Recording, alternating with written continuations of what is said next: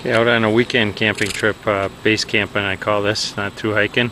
Uh, you know, it's car camping, but just kind of give you a tour of the site here and, uh, you know, with the kids. So, girls are in this big tent. I got uh, my son and two friends, so they're in this small tent. And then I'm over in my hammock there, my Eno single nest hammock with uh, the BC USA tarp, my little tripod chair, reading a book, The Frontiersman, my uh, trauma blanket or all-weather blanket, sleeping bag. Got a little bug net there. Yeah, pretty comfortable setup. Got my food container, my JanSport Big Bear 82 liter pack. That's just where I store everything. Trekking pole. So I got one end tied to a tree, the other end tied to the car. Lots of junk in the car, but I'm not using most of it. Again, you know, what I find out is got my little canvas bucket of what I call my miner's bushcraft type kit. You know, you've seen that before. So if I make a fire tonight, I haven't even made a fire.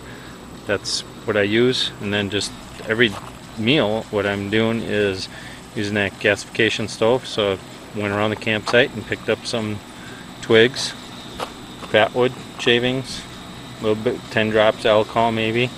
Can make myself some rice for lunch, two quart canteen, flour tortillas, uh, soak in the rice, some dehydrated mushrooms, my little funnel for coffee, my coffee cup, some hot sauce, some imitation butter, flake butter, a little bit of salt, got the radio going, you know, just enjoying the time here. It's uh, nice weather, try to keep it simple.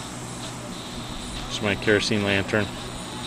Used that last night, that always you know, draws a lot of uh, conversations. Oh, that thing's cool. Doesn't put out a light, but a lot of light, but it really is efficient and it's easy to use. And fuel is, you know, not flammable really like white gases and propane. So it's cool.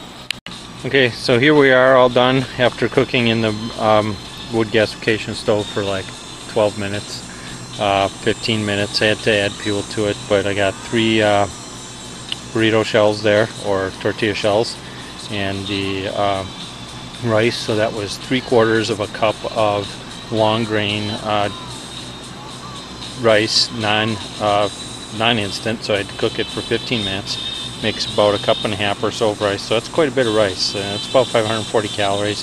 Had some dehydrated mushrooms in there. So we're all set to go.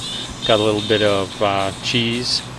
Got my radio here, just a little entertainment. My hot sauce, my butter sprinkles, little uh, sea salt and we'll be all set to go. So that's it. Okay, there they all are prepared.